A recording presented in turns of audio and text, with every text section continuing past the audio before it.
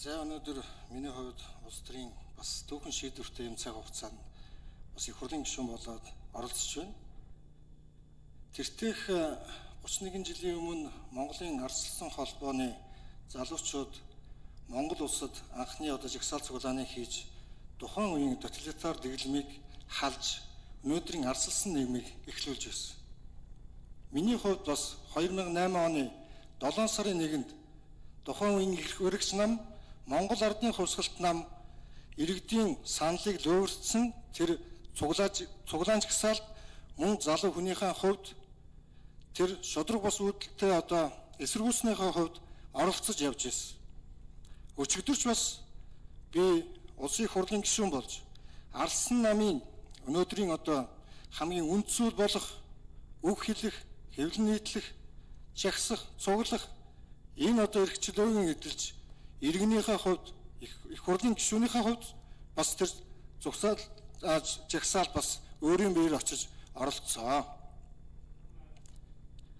Өнөөдөр энэ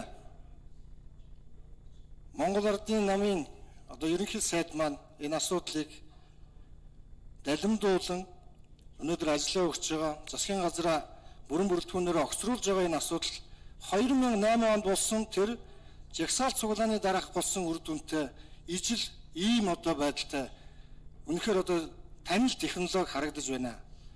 Тухайн үед 7 сарын 1-нд иргэд өөрсдийнхээ эрхийн төлөө жагсны төлөө тухайн үеийн эрх баригч нар иргэдийг хүчээр тарааж мөн одоо Монголд хүний одоо таван хүний бас алтан ам эрсдэж байсан ийм хашуун одоо түүхтэй Тэр үед тэр цуглаал жагсаанаас хэн хоцсон бэ гэж тэр жагсаал цуглаанаас иргэдийн эрхээ хамгаалах гэсэн үгэн хэлэх гэсэн тэр жагсаал цуглааныг Монгол Ардын намын өнөөдөр 10 тэрбум төгрөгийн үнэтэй цагаан ордон баригдсанаар тэр жагсаал өндөрлсөө.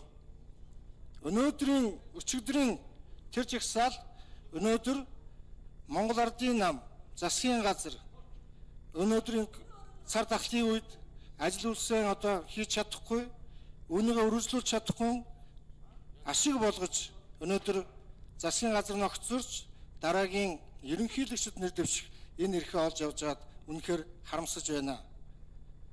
Хөрөлсөх сайд маань манай нутгийн ах байгаа. Бас нутгийн одоо иргэд үнэхээр бас таныг энэ ажлаа хийж нутгийн одоо ард олныхоо Монголын ард түмнийхээ итгэлийг зүтгэлээр хариулаач гэж бас хүсэж олон мессежүүд явуулж байна.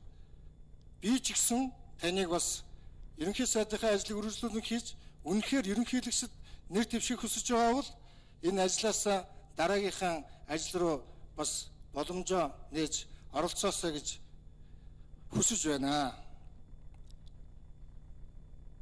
Өнөөдөр өнөөдөр үнэхээр бас надад үг хэлж байхад манай эргэн тойронд байгаа Монгол Ардын намын гишүүд нь бас маш их баясгалантай байна. Үг хэлж тушаахан дасалдуулаад байна.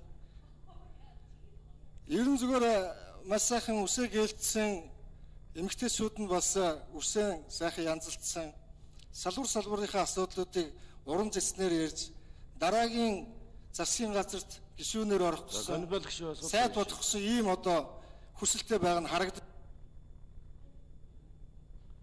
Баян чинь жоохон